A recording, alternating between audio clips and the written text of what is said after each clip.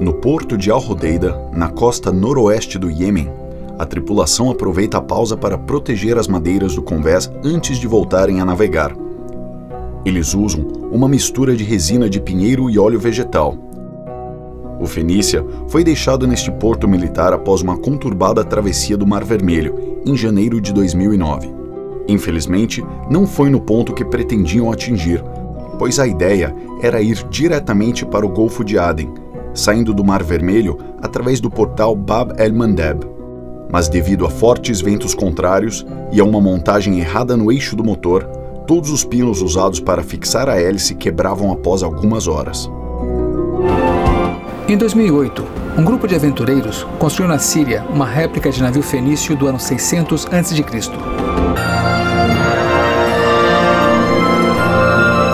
Seu objetivo? Refazer a lendária primeira circunnavegação do continente africano, encomendada pelo faraó egípcio Neco II e narrada pelo historiador grego Heródoto. Foram 20 mil milhas navegadas, parando em 15 países, ao longo de dois anos, e um brasileiro para contar a história. Sou Yuri Sanada, documentarista oficial da Phoenicia Expedition.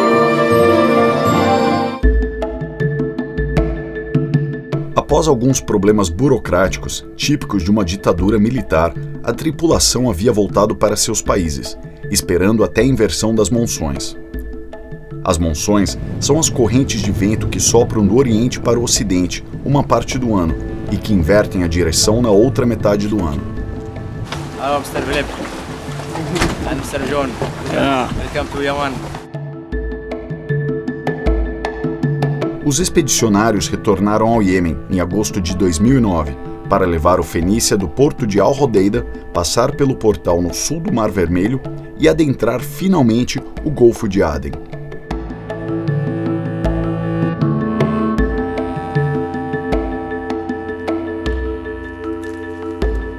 Agora eles estavam navegando nas temidas águas ao redor da Somália, onde inúmeros ataques de piratas foram registrados ao longo dos séculos. Depois de meses parado no porto, finalmente os ventos são favoráveis ao Fenícia, e eles conseguem sair do Mar Vermelho sem problemas, pelo estreito de Bab al-Mandeb.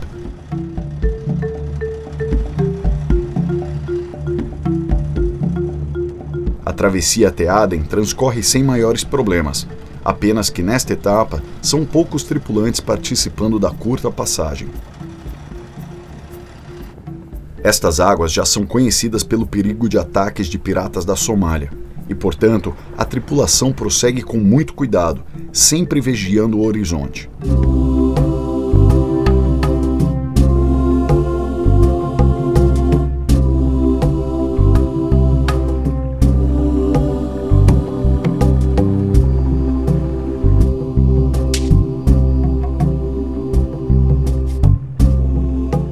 Baía de Aden é uma visão que traz alívio aos preocupados marinheiros.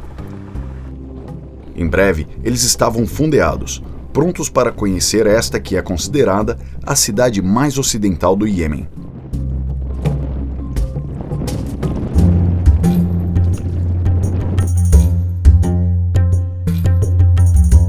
Aden é uma das cidades mais antigas do mundo, citada em inscrições do século 6 a.C. e mencionada até por Marco Polo.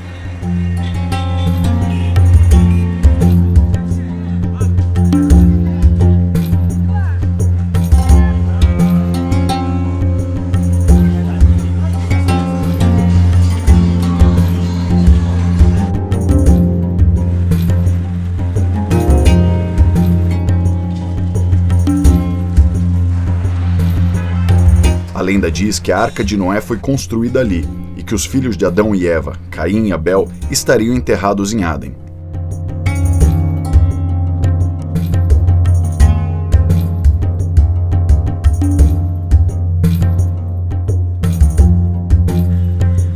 Em 1839, ela se tornou um protetorado inglês, que só iriam embora em 1969. Depois, Aden foi a capital do Iêmen do Sul, protegida pelos soviéticos, até o país se unir ao Iêmen do Norte em 1990.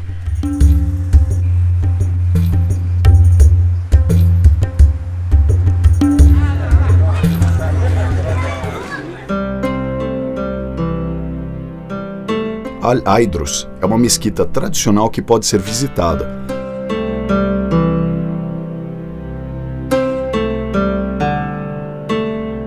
A mesquita foi construída no século XIX, em cima de ruínas de 600 anos, e guarda a tumba de vários homens santos.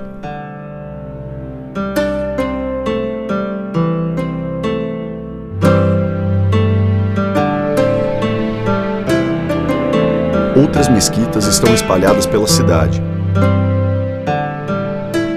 E é fácil saber delas, pois cinco vezes ao dia os alto-falantes chamam para a reza.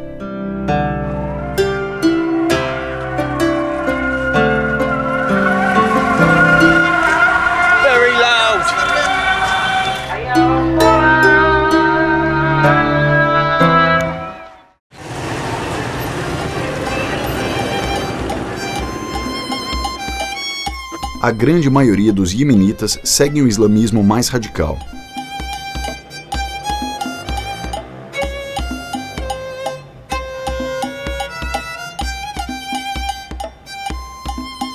Os homens usam roupas adequadas ao deserto, como a saia futa e a jambia, uma adaga tradicional usada no cinturão na frente. Completando o conjunto, uma camisa e jaqueta, e na cabeça a machada. Yuri visitou uma loja no souk, ou mercado, para aprender como usar a machada ao estilo do Iêmen.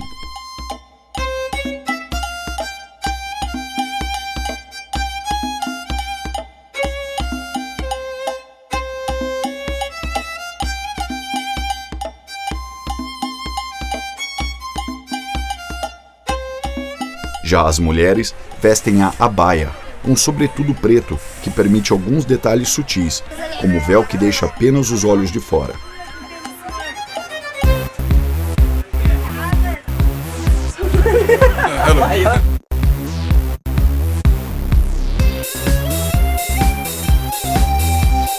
Curiosamente, isto não impede que elas frequentem as praias.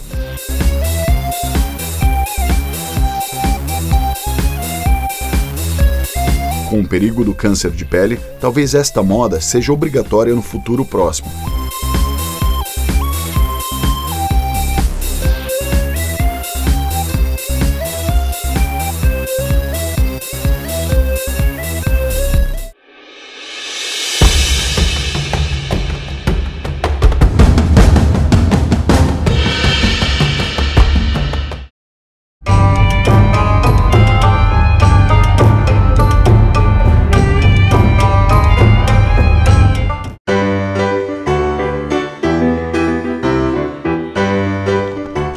Indiferentes aos costumes humanos, a fauna marinha do Iêmen encanta os visitantes que praticam o snorkeling.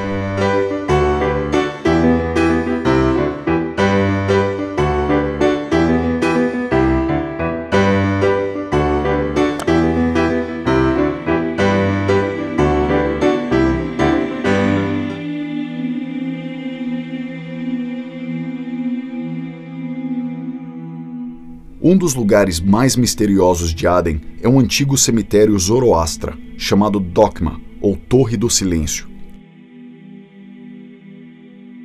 Este lugar é único, devido ao seu uso peculiar, sendo um cemitério para enterros no céu. Esse é o antigo cemitério Zoroastra. Só tem dois no mundo, um no Irã e esse aqui em Aden. Os Zoroastras eles não acreditavam em enterro eh, no chão, no solo e nem queimar os corpos, porque achavam que depois que a pessoa morria, o corpo não era mais puro e podia contaminar tanto o chão quanto o fogo que é sagrado. Eles deitavam seus mortos para serem consumidos pelos pássaros e assim desaparecendo no ar. Aqui os corpos ficavam estocados ou guardados, e aqui nesse local você pode ver também as ranhuras, onde o sangue e os fluidos corporais desciam até esse círculo central, onde ficavam as mulheres e as crianças. Infelizmente, devido ao governo islâmico, este local é banido de todas as menções oficiais e só existe pois fica muito fora de mão. Após investigar muito, eles se tornaram provavelmente um dos únicos visitantes dos últimos anos.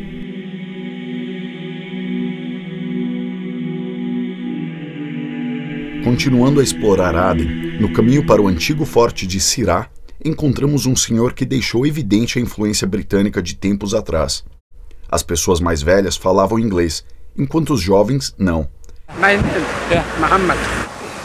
You English?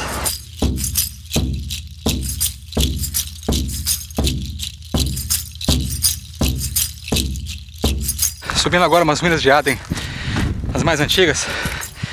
É uma construção, um forte inglês. Estou subindo correndo porque é uma área meio perigosa. Como eu vou pegar o pôr do sol lá em cima, vou pegar uma imagem bonita. Eu quero pegar o pôr do sol e mandar antes de ficar muito escuro. O local é bem bonito e é bem alto.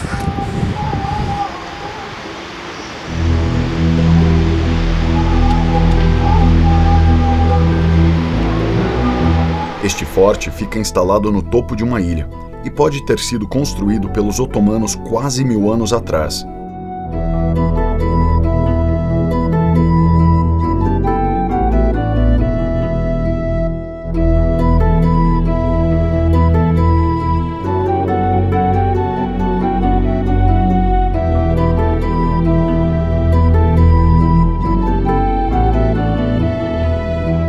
Oferece uma soberba vista para Aden e para o mar ao redor, comprovando seu valor estratégico.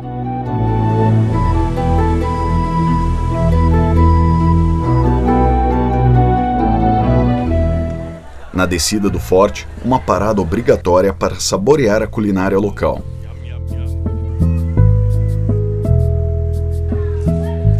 O costume culinário aqui é comprar os espécimes frescos que desejar e levá-los aos restaurantes vizinhos, para que sejam preparados e servidos na hora.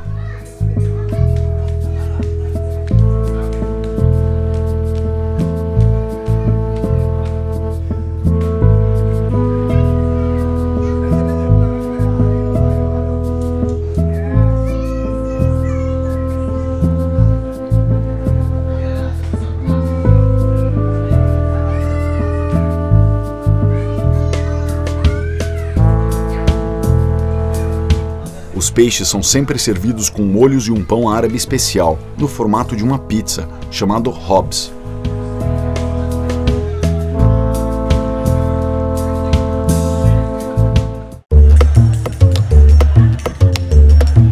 Logo na entrada de Sirá fica o mercado de peixes, um lugar fascinante e ao mesmo tempo impressionante.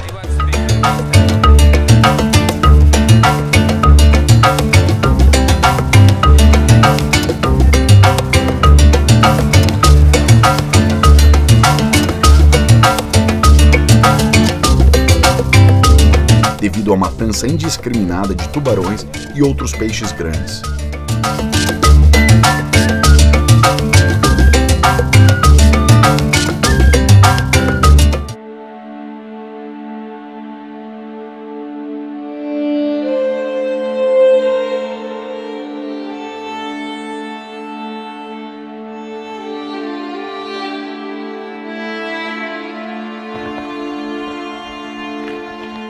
Estamos chegando agora em cima do vulcão de Aden, é um vulcão extinto.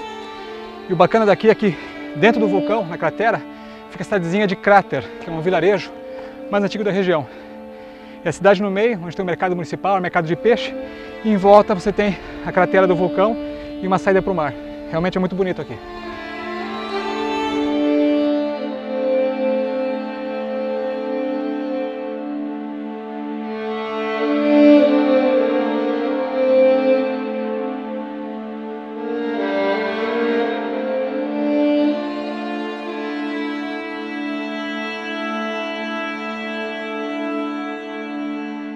Água é o bem mais precioso tanto no barco quanto no deserto.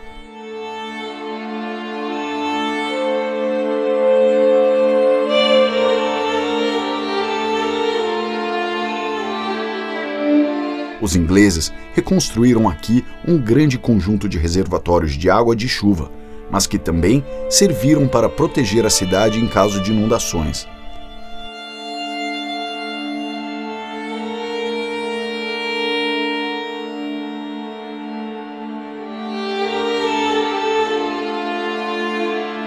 A obra original é muito mais antiga, com séculos de idade.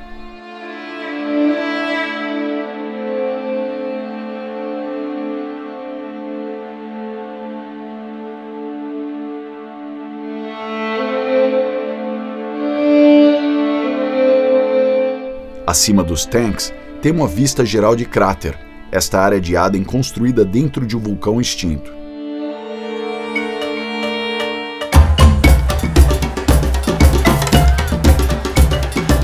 Aproveitamos para visitar os mercados municipais, um passeio de cores e sabores peculiares. Provar uma comida de rua local, pepino com sal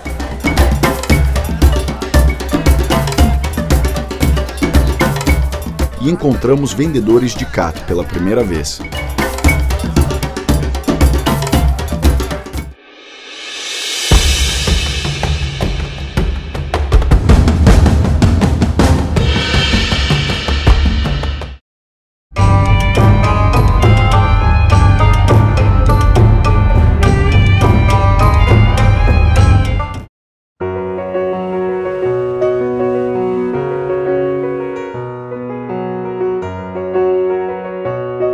Fama de Aden como cidade de turismo vem das belas praias.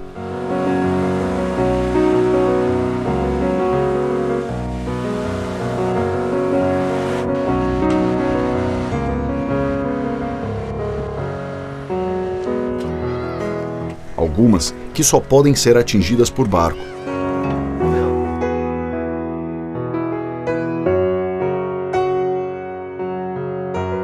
Como esta acompanhamos uma saída dos voluntários das Nações Unidas.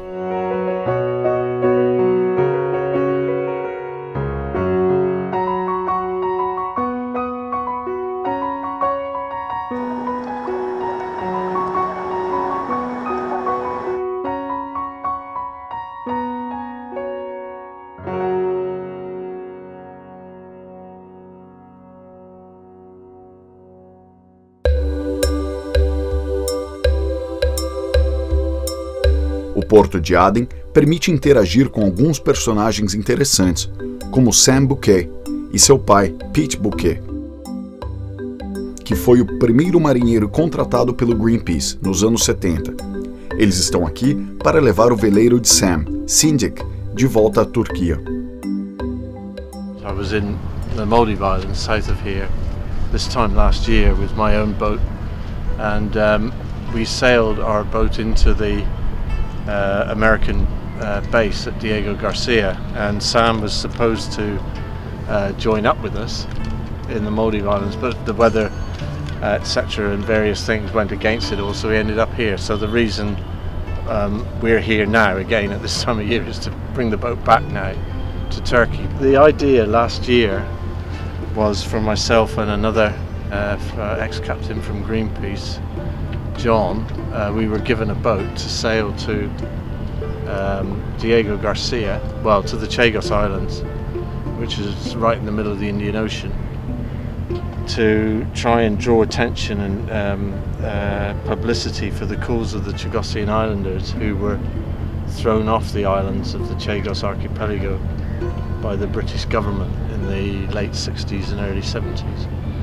And the reason that these people were thrown out of their homes and exiled from their homeland was because the Americans wanted the island of Diego Garcia, which is one of the islands of the Chagos group, uh, as a base. And uh, that's subsequently what happened. And the people were taken by the British government, forced to leave by the British government, and uh, um, literally dumped on the quay in Mauritius and um, left to fend for themselves basically, where they've lived in abject poverty and squalor since that time without any hope or um, compassion by the British government that they'll ever be allowed to return home.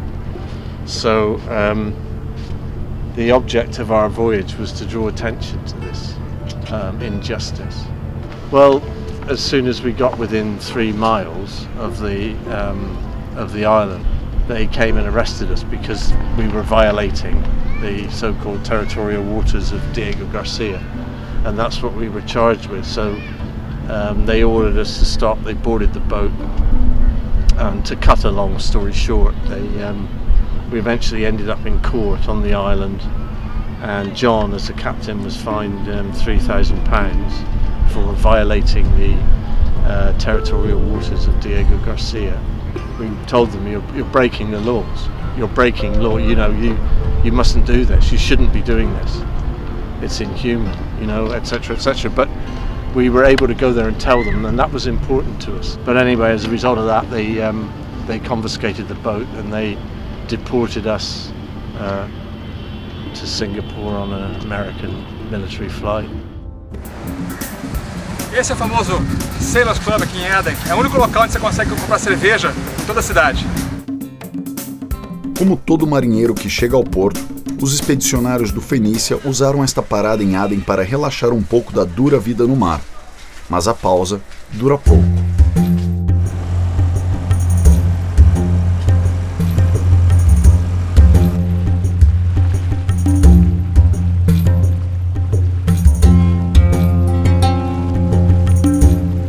Chegada a hora do Fenícia sair da água para fazer manutenção em seu costado e fundo.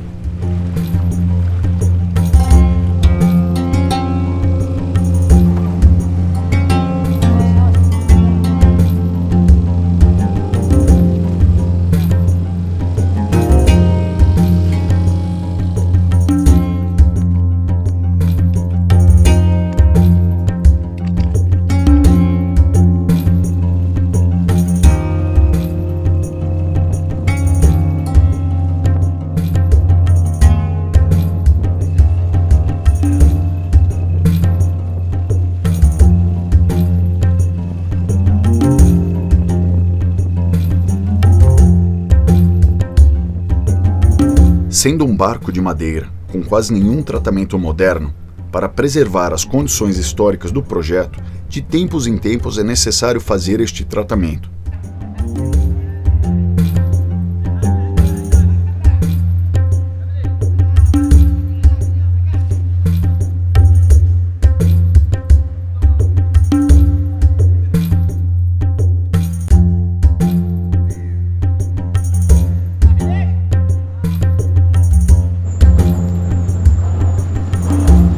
As madeiras que apresentam algum tipo de defeito têm que ser substituídas para evitar riscos desnecessários à embarcação e aos seus tripulantes. Após estes reparos, a expedição vai continuar.